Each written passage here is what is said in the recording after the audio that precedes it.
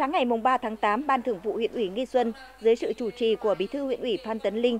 đã họp và cho ý kiến bổ sung đề án xây dựng huyện đạt chuẩn nông thôn mới điển hình về văn hóa gắn với phát triển du lịch giai đoạn 2021-2022.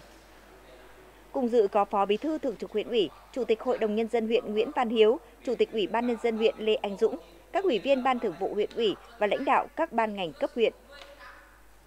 Thời gian qua, huyện Nghi Xuân đã tập trung xây dựng, rà soát, điều chỉnh, bổ sung bộ tiêu chí trong đề án xây dựng huyện Nghi Xuân đạt chuẩn nông thôn mới kiểu mẫu, điển hình về văn hóa gắn với phát triển du lịch giai đoạn 2021-2025. Các tiêu chí được xây dựng tiệm cận với tiêu chí đô thị loại 4. Việc sửa đổi bổ sung là cấp thiết để phù hợp với tình hình thực tế trong từng giai đoạn và bộ tiêu chí của các cấp. Tại hội nghị, các đại biểu cơ bản thống nhất với nội dung mà báo cáo đã nêu, đồng thời đề nghị các phòng ban chuyên môn với chức năng nhiệm vụ của mình cần tiếp tục nghiên cứu, điều chỉnh, bổ sung một số nhóm tiêu chí cho phù hợp với tình hình thực tế của địa phương, xem xét tính khả thi và giải pháp cụ thể để hoàn thiện đề án. Trong đó,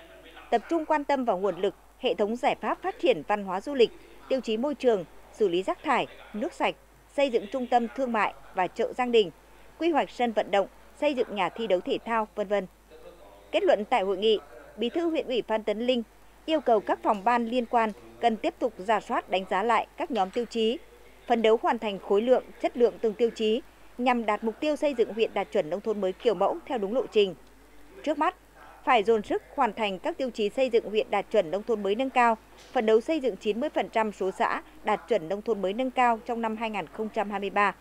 Xem xét các xã có tiềm năng và thực lực để xây dựng xã đạt chuẩn nông thôn mới kiểu mẫu, nghiên cứu xây dựng kịch bản tổ chức tuần lễ văn hóa, tạo điểm nhấn riêng biệt trong các hoạt động văn hóa du lịch.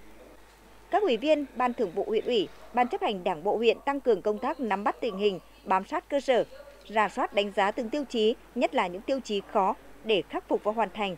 Các ban ngành cấp huyện có kế hoạch cụ thể để thực hiện các tiêu chí của ngành và đơn vị mình phụ trách, xây dựng hướng dẫn cụ thể về cách làm, cách hoàn thiện các tiêu chí. Tiếp tục đẩy mạnh kêu gọi thu hút đầu tư, lựa chọn nhà đầu tư chiến lược phù hợp với thực hiện các dự án trên địa bàn, đồng thời tập trung huy động mọi nguồn lực, quan tâm phát triển du lịch dịch vụ, duy tu các di tích lịch sử văn hóa gắn với bảo vệ danh làm thắng cảnh, xây dựng con người nghi xuân văn minh lịch sự giàu bản sắc.